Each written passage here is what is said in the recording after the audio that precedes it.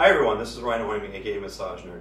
And today I'm going to demonstrate using um, the Mother Earth pillows. And for sanitary wise, what we're going to do is you can put this right over the eyes. And this pillow, it's not the ideal one. I don't have the smaller ones right now because I have them at school. But what you do is you can just lay it right on there, and it's more sanitary that way. Or even with the with these pillows, if you have the sheet on them, you can just lay the pillows on there on those areas too then. So again, they come in many different sizes. So motherearthpillows.com. You can go to that website, and there's even a treatment out there. It's called Pillowsage.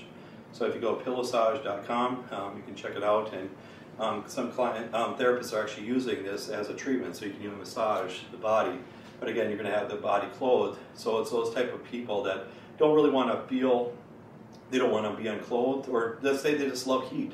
Or you can even incorporate it in regular treatment. So let's say you give them regular massage, but you want to incorporate some of this, just throw the sheet on, and then you're going to use these. And then a lot of times you're going to use the um, towel warmers to use these so you can heat them up then.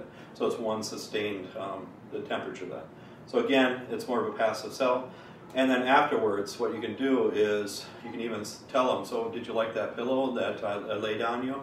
And they'll more likely going to say yes, and then you can even sell them there. So again, you're not going to be just going there um, and telling the client, do you want to buy this kind of thing? So that's why it's the recommendations of if you can use any kind of products in the treatment, more likely you're going to it's going to be helping out in the long run to add, get some more revenue in the long run. Okay.